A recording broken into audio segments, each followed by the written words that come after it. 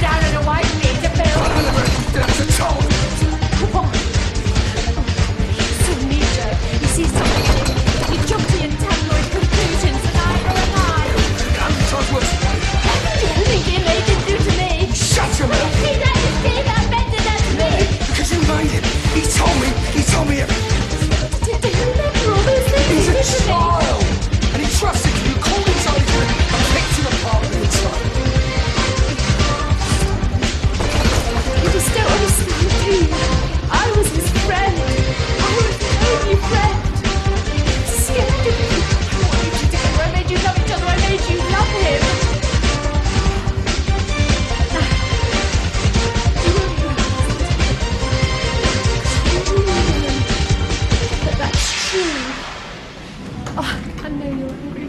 understand that, but this is over the top.